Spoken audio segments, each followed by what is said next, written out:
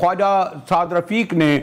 اور جو P D M کی بیٹھک کے بعد رانا صلی اللہ نے اور جو ان کی قیادت جس طرح آئی ہے، ان کے تو عزائم جو آپ نے دیکھے، بڑے اس سے تو لگتا ہے کہ شاید کچھ کارڈ ان کے پاس ہیں سینیٹر آغا؟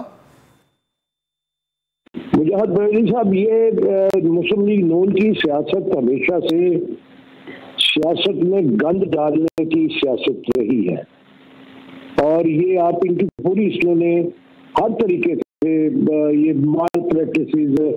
یہ ڈرانا دمکانا لوگوں کو اٹھانا، ان کو کرنا، تشدد کرنا، صحافیوں کے ساتھ اس قسم کے سلوک، یہ ان کی پرانی تاریخ ہے اور جب بھی یہ حکمران ہوتے ہیں تو یہ پولیٹیکل وکٹمائزیشن پر یقین رکھتے ہیں، ہمیشہ پولیٹیکل وکٹمائزیشن کرتے ہیں۔ اور یہ الیکشن کے اندر ہمیشہ ناجائز ہتھ کنڈے استعمال کرنے کے ماہر ہیں۔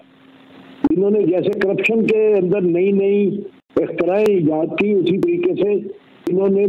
مال پریکٹسز الیکشن کے اندر مال پریکٹسز کی بھی اختراعیں انہوں نے ایجاد کی۔